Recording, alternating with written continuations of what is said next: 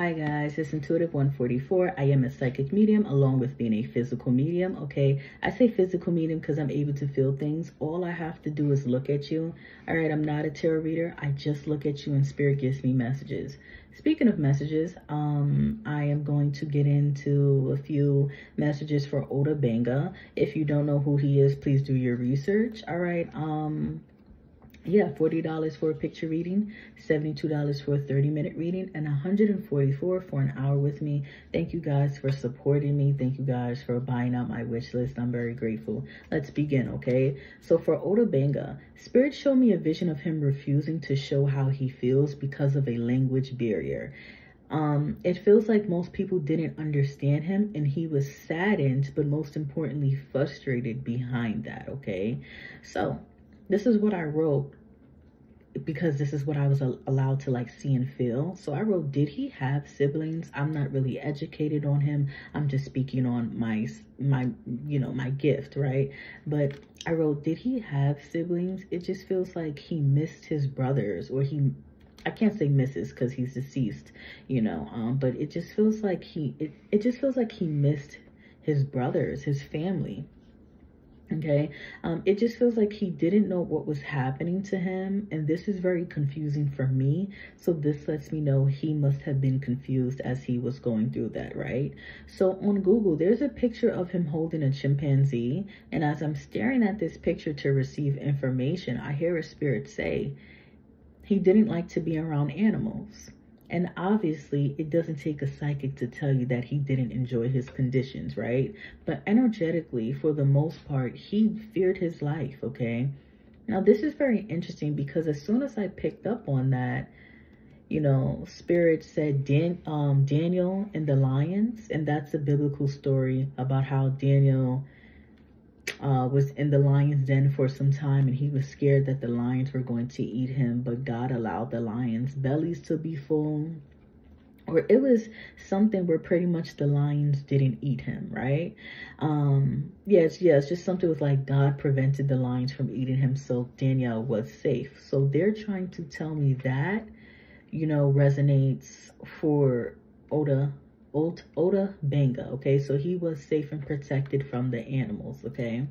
Um, obviously, he was treated like an animal, right? It doesn't take a psychic to tell you that. But they also showed me a vision of people feeding him scraps. In the vision, somebody peels an orange, they eat the flesh of the orange, and the peel they throw to him as if he's an animal. So that was, yeah, um that was that was something that was something okay? So kind of transferring out of that vision um i heard a spirit say him committing suicide was out of fear he would go through that again. So when he was released i hate to say released but when he was released freed um he you know committed what he committed because you know energetically he was scared that he would go through that again. He was scared somebody would capture him again and he would go through that okay? So unfortunately he took his life because of that. Um you know but i, I do want to say oh so I, I this is what i wrote. It doesn't feel like he felt free even when he was free okay? Um it just feels like death provided him a sense of security all right I do want to say it kind of reminds me of enslaved Africans and enslaved people, period, who chose to stay on the plantation after they were freed.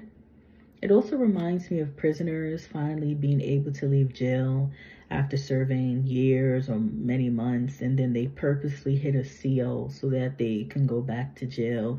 It kind of reminds me of like homeless people, you know, purposely, you know, putting on a front as if they're mentally ill so that they can stay in a hospital because it's snowing outside. It's just very interesting. Um, and I empathize with all of those situations, right? Um, but once again, there were a lot of times he did things without fully understanding why or what he was doing because of the language barrier. And once again, it was just too much to bear for him, okay? So I do want to say, and I said it already, uh, suicide, well, suicide, I know I got to be mindful of that word, but you know, that was a sense of uh, security for him, okay? Uh, it just allowed him to feel sure of himself that if I do this, I will never go back to that. Um, and yeah, that's what I have for Ota Benga. I know this is very short. Um, yeah, um, that's what I have for him. I want to say thank you guys so much for the support. You guys have been lovely. Um, $40 for a picture reading, $72 for a 30 minute reading, and 144 for an hour. Good night.